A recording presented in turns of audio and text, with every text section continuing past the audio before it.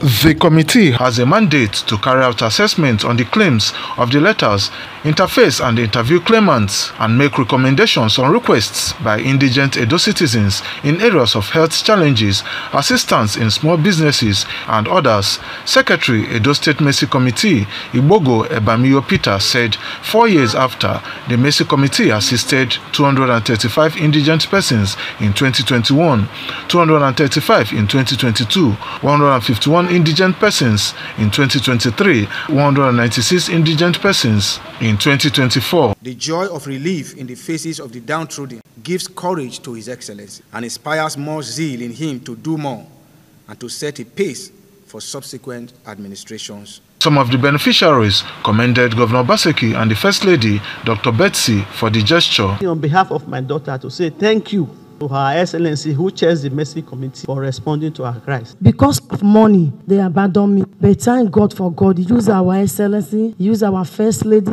to save.